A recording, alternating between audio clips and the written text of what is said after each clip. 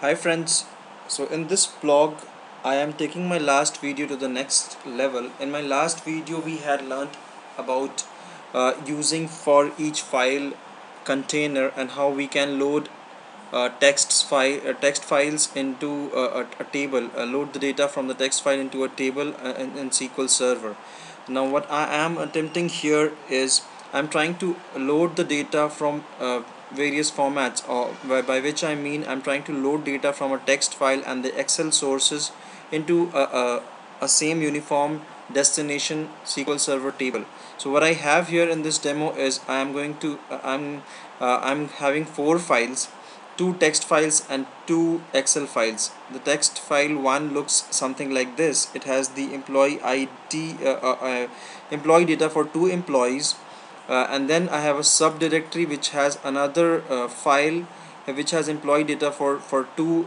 employees, and then I have got two Excel sheets in this format, and they also have employee data one records each uh, in, in both of uh, them.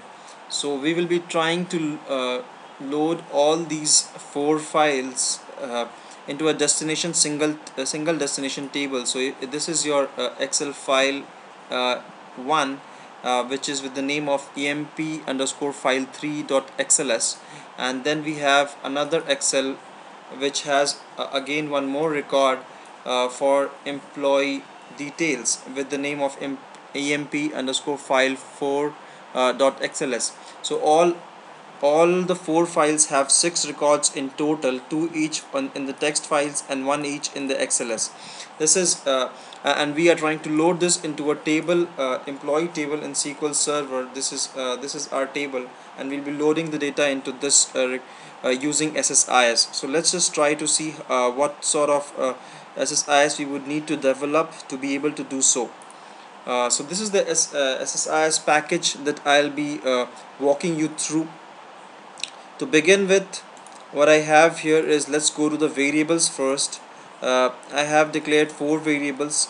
I have added uh, a variable var flag and, and then I have actually the var root folder archive path. I mean once the data once um, our records sorry the files are processed we uh, intend to archive them at this uh, at this path. So we have uh, mentioned or specified that uh, archive path and then we have uh, the var file path which is uh, initialized to anything. I mean it could be anything. So now these are the four variables that we are trying to work with.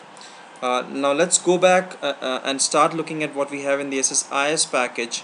First we are working with XLS the important uh, thing is to remember uh, go to the properties and disable your 64-bit runtime mode if you are using because you are using an XLS it will uh, Excel file you're working with XLS it will it will be able to work only with the 32-bit runtime mode. Remember that. Once we have done that now let's go to the for each file loop. Enumerator we have the collection defined as emp underscore file and saying star and, and dot star extension so it could be a text file and uh, uh or a xls file by which uh, we mean. And we are going to retrieve in the in the variable mapping the fully qualified path. And also we have checked uh, the traverse subfolders because we have a file uh, if you look at the employee we have a subfolder which is having one of the text files. So we have enabled that as well.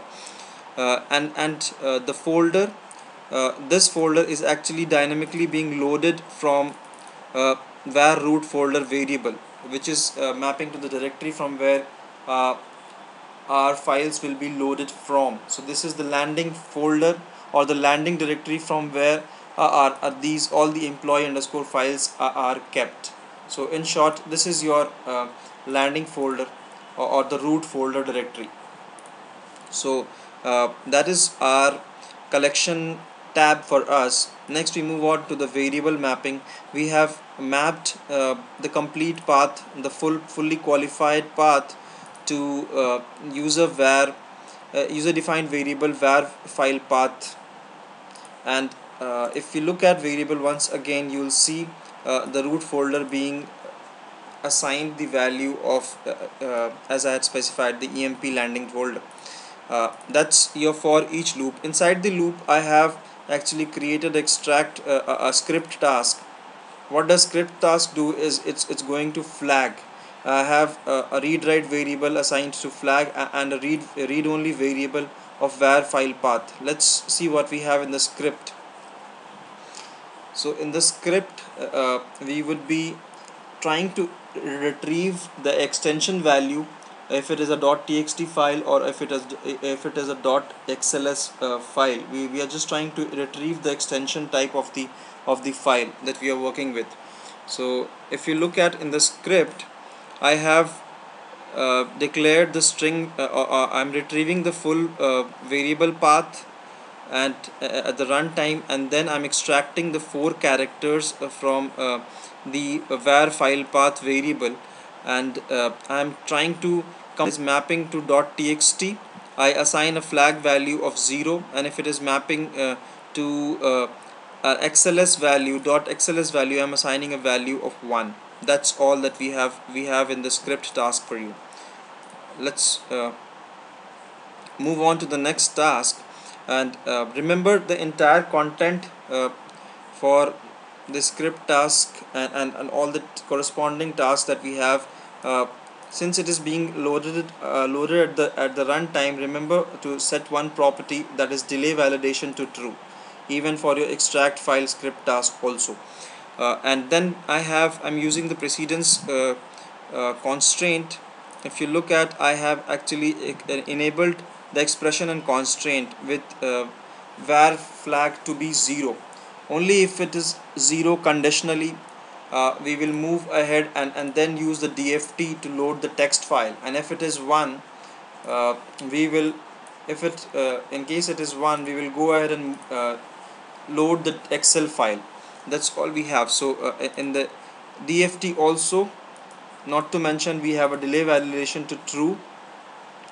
And if we go down if we drill down we have a flat file source and a flat uh, uh and a OLEDB destination uh, the connection manager for the flat file is actually of uh, the type we are we are getting the value from var file path the connection string the complete .txt string is is being uh, picked up from this uh, variable which is uh, the collection in the which is collection in the in the for each file loop container if you look at um, in the variable is being collected. Uh, right. So in the in the load dft load excel also if you look at uh, this is the excel source. Uh, in the excel connection manager also in the expression if you look at uh, the excel file path is being it is not the connection manager it's the excel file path is also being uh, loaded from the var file path. Remember there is another property which is delay validation put it to true. And secondly in the excel source you have to validate uh, set the validate external metadata to false because it will be uh, it should not validate pre-execution. I mean ideally your Excel is, is, is validated before uh, being loaded into uh, before this SSIS package runs. So we need to put it to false because it is being uh, loaded at the runtime at dynamically. So these are the properties that you need to uh, put it to false uh, for Excel. The other point that I need to make here is the Excel uh, as has a non-unicoded data. So for all the varchar data types we have to put a data conversion.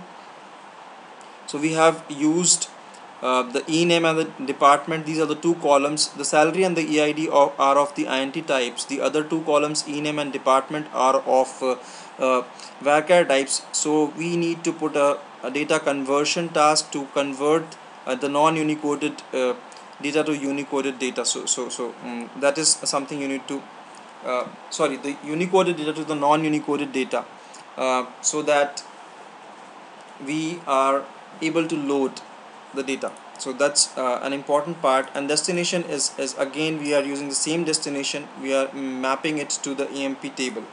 Uh, here also if you look at the destination is being mapped at the em employee table. And last but not the least uh, both of them uh, we are using logical all or constraint and here also remember to use logical or constraint uh, in all of the scenarios. And uh, we are finally archiving all the path uh, sorry all the uh, files that we have uh, from the archive uh, to the archive path. We are moving this file. We are using the operation move file. And we are moving the file from the var file path to archive path. In this scenario also remember to delay validation I mean set the property of delay validation to true. So that's all uh, we have here in this SSIS package and we are we will be loading the data from uh, text and the Excel finally into the same table. So currently if you look at the table we do not have any records and we are trying to load these four files of different types. Uh, I mean one is of Excel and the other is of text into this uh, table and then finally archive uh, our, our, our, uh, files that we have actually uh, processed. Let's start running this SSIS package that we have developed.